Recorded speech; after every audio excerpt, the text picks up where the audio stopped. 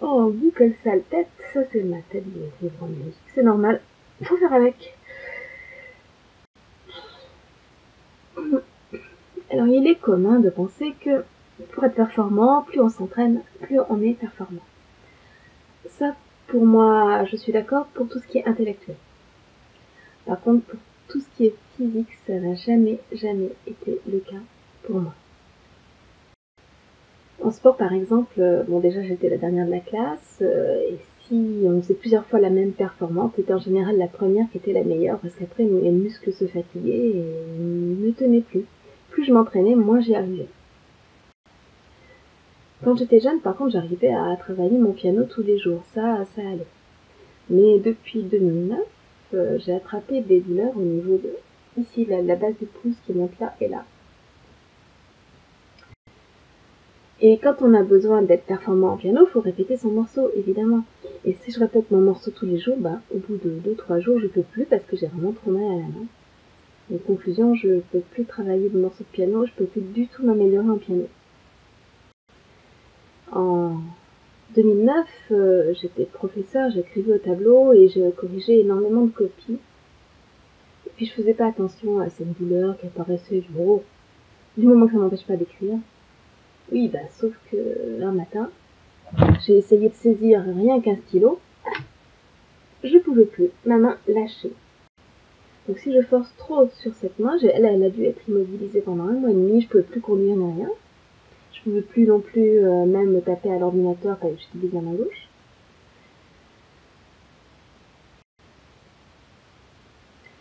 Donc bon, quand cette douleur apparaît, tout ce qu'il faut, c'est que je mette la main en repos. Donc c'est pas parce que je vais pouvoir faire quelque chose une fois que je vais pouvoir le répéter. En général, euh, j'arrive à faire une chose une fois, et puis après, bah, les douleurs, la fatigue m'empêchent de le répéter un certain nombre de fois. Et ce qui est trompeur, c'est que je vais arriver à faire une performance une fois.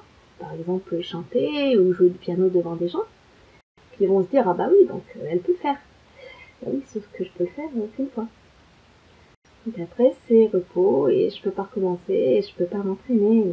Ça, c'est quelque chose qui est pas très compréhensible du public.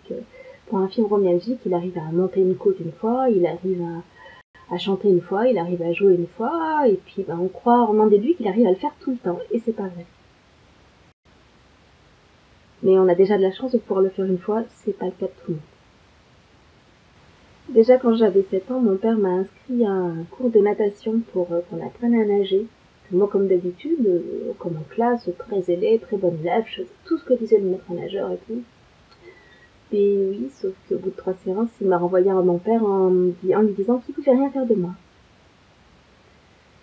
Mon père, avec beaucoup de patience, deux ans après, m'a fait faire des séances à la piscine de Virey sans me faire trop forcer, et puis j'ai fini par arriver à apprendre à flotter sur l'eau. Et à nager un peu comme je pouvais.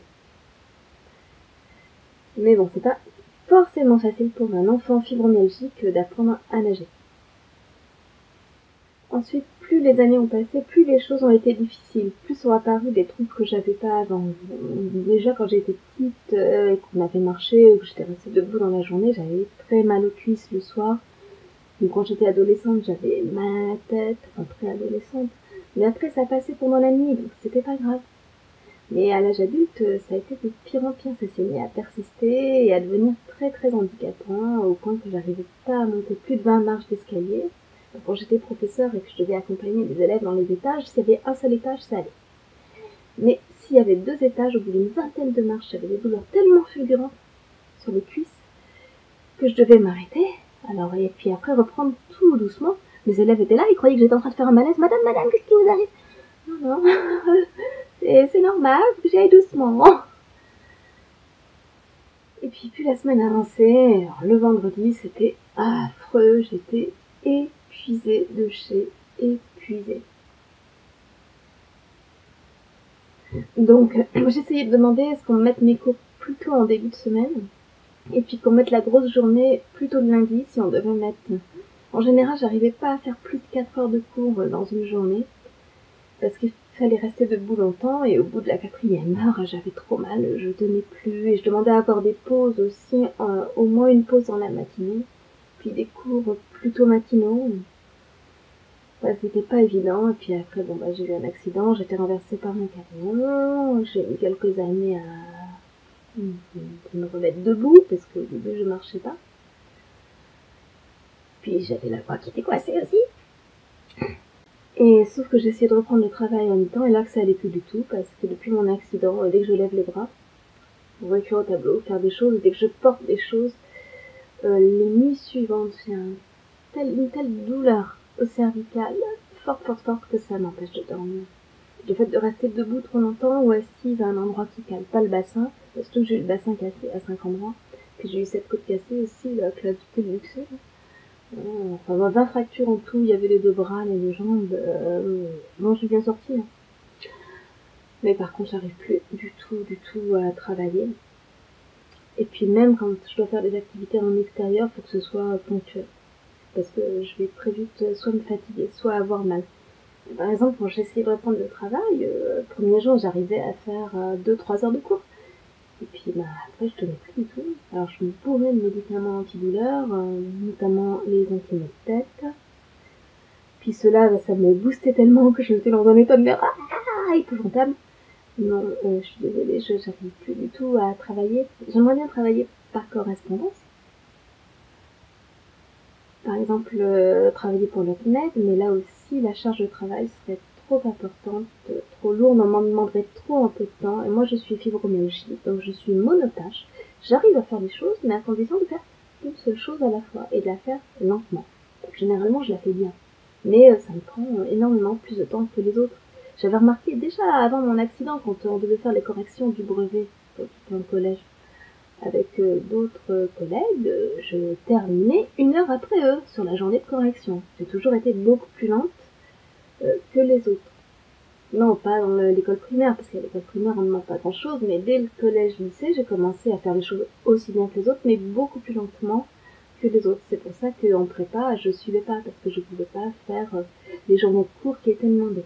En faculté, on avait plus d'heures de libre, alors bon, comme on n'avait pas des cours tout le temps, j'avais le temps de faire mon travail personnel en plus des cours dans la journée et puis d'aller euh, me coucher à 8 heures du soir. Mais par contre, tout ce qui est rythme de prépa ou alors faire la fête et tout ça, moi j'ai jamais été jeune, hein, j'ai jamais pu faire la fête, euh, j'ai jamais pu voyager non plus. Je crains beaucoup, beaucoup trop les transports. Le transport, c'est nausée, douleur, douleur de cervicale, épouvantable. Bon, ben non, je pas de transport. Hein. Moi, je suis tranquille chez moi, c'est là que je me sens le mieux si vous voulez me faire faire des transports, euh, vous allez me mettre bien à mal. Hmm. Et puis enfin, bah, il y a beaucoup de saisons où, euh, pas des matins, où j'arrive pas à me lever les matins, tellement c'est dur, tellement je suis épuisée les matins. J'ai l'impression qu'au printemps ça va mieux, le rythme se décale un peu, j'ai plus envie de...